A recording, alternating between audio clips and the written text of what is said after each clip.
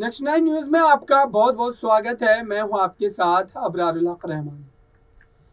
Congress party से लगातार एक के बाद एक नेता जो है, उनका मोह भंग हो रहा है और साथ ही वो इस्तीफा भी देते चले जा रहे हैं।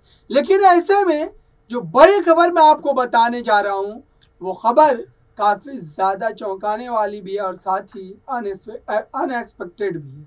दरअसल, इस वक्त गुलाम नबी आज़ाद को लेकर के चर्चा इस जोरों पर है। जिस तरीके से उन्होंने पार्टी हाईकमान पर सवालिया निशान लगाया और ये बातें कह दी कि दरअसल, राहुल गांधी कहीं ना कहीं पार्टी को जो है, गर्व करते जा रहे हैं।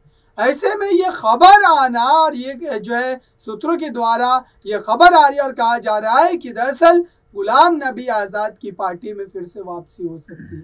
दरअसल, गुजरात विधानसभा चुनाव और हिमाचल विधानसभा चुनाव को लेकर के जो तमाम बातें की गई थी, गुलाम नबी आज़ाद के द्वारा और कहा गया था कि दरअसल पार्टी की जीत को लेकर के वो काफ़ी ज़्यादा यहाँ पर उत्सुक है और वो ये यही चाहते हैं कि दरअसल हिमाचल प्रदेश और गुजरात चुनाव में कांग्रेस की ही जीत हो।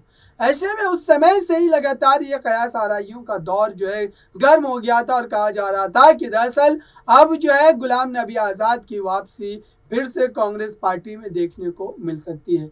और लग रहा है कि ऐसा हो भी सकता है, क्योंकि अब सूत्रों के हवाले से पुख्ता खबर दी जा रही है कि दरअसल सोनिया गांधी भी इस पूरे मामले पर नज़रें बनाई हुई है और इस मामले पर वो पूरी तरीके से जो है कांग्रेस पार्टी के आला नेताओं से भी संपर्क में है। और ये बात कही जा रही कि दरअसल उन नेताओं को इस काम पर लगाया गया है कि फिर से एक बार गुलाम नबी आज़ाद की वापसी को लेकर के कोई बड़ी रणनीति के तहत काम करने की ज़रूरत है। और वाकई में आप समझिए कि अगर ऐसा होता है तो ज़ाहिर सी बात है कि इसके कई तरीके के फ़ायदे कांग्रेस को भी नज़र आएँगे और साथ ही गुलाम नबी आज़ाद जैसा बड़ा वरिष्ठ नेता कांग्रेस में वापसी का सीधे तौर पर मतलब यह है कि फिर से कांग्रेस पार्टी में वो ताकत देखने को मिलेगी। लेकिन सोनिया गांधी इस पूरे मामले को लेकर के अब तक कोई आधिकारिक बयान उनके द्वारा नहीं आया नहीं आया है। मात्र इन सब बातों को लेकर के चर्चाएँ हो रही है और की जा रही है अलग अलग नेताओं के द्वारा, विधायकों के द्वारा।